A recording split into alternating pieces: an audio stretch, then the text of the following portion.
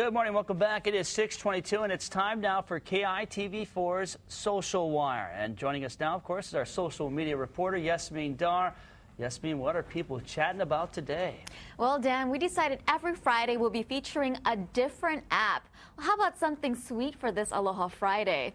Juicy Fruit has got you covered in the sweet talk department. And depending on what mood you're in, you can let any one of your alter egos shine. Our cameraman Nick and I had a blast trying out these different voices and mouths on this app.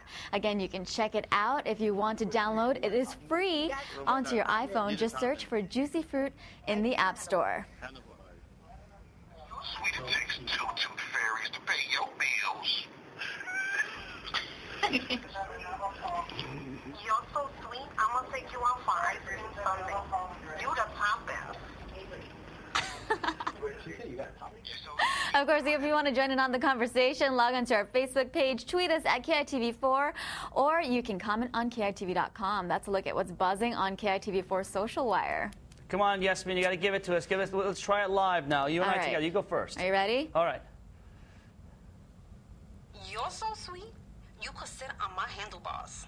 Just make sure we don't accidentally run into a wall. All Okay, your right, turn. and then I'm going to regret this, but uh, my turn. Here we go. Make sure it's in the right way now, okay? You're so sweet. Ponies asked for you for their birthdays.